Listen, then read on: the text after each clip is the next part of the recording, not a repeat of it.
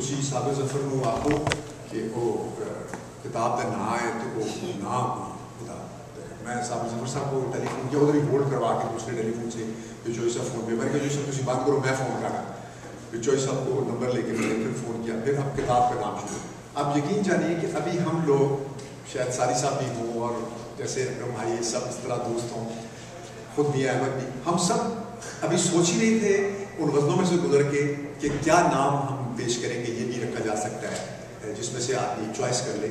तो हज़रत खलीफतुल मसीह खामिस नसर अज़ीज़ का मकतूब पहुँचा। और वो क्या था? आपकी खिदमत में, मैं वो पेश करता हूँ कराम फरमाया कि लंदन पच्चीस पाँच दो हज़ार छः मुकर्रम सदर मजलिस, सदर साहब मजलिस पाकिस्तान।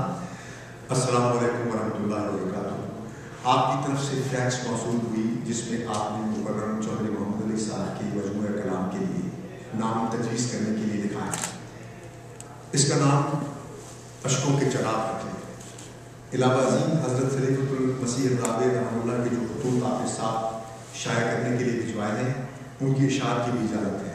बेशक वो सारे शाया करने अल्लाह करे कि ये मजमू कलाम हर लिहाज से बाबरकत और मुफीद साबित हो और इलमी और अदबी हल्कों में इसे खास मकाम हासिल हो। आमीन। वसलाम खाकसा मिर्ज़ा मसूद खलीफुल खामिस तो हम हैरान रह गए कि हम में से किसी के जहन में भी अशकों के चराग नहीं है। किसी एक के जहन। फिर बाद में यूँ भी लग सकता है आदमी, यानी बाहर का आदमी आउट ऑफ़ द बॉक्स जो है, वो ये कहे कि भाई सामने की बात है। हमने कहा, सामने की तो है, हमारे से में आए नहीं।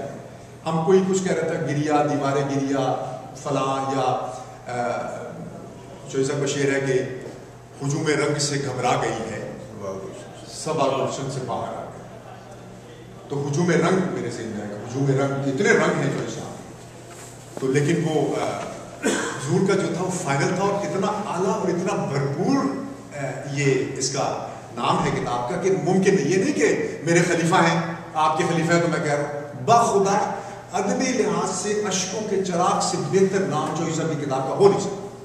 क्योंकि चोई साहब रोने में उनका सानी नहीं। अभी एक जरा यूँ भरे बैठे हैं, जू राग से जैसे बाजा। एक जरा छेड़िए, फिर देखिए क्या होता है। अभी नाम लिया और चोई ने शुरू तो इससे बेहतर नाम हुजूर ने, मैं इतना हुजूर से प्यार आता है कि हज़रत खलीफुल मसीह खामिस इनकी अपनी अलग शख्सियत है, अलग मकाम है, अलग शौक, अलग मिजाज है, लेकिन ऐसी ऐसी हैरत के साथ वो नाम लेके आए, पता चला कि तय दर तय और परत दर परत खुदा तला आदमी बनाता है और असल में खिलाफत पहले से ही पैदा हो चुकी होती है, बस वक्त में उसे नमोदार होना होता है, बस यही बात है। इतनी सी बात है। अब जो आपको यहाँ महसूस करने के लिए तशीफ लाएँगे हमारे प्यारे डॉक्टर ताहिर खान साहब, वो आपको नजम पेश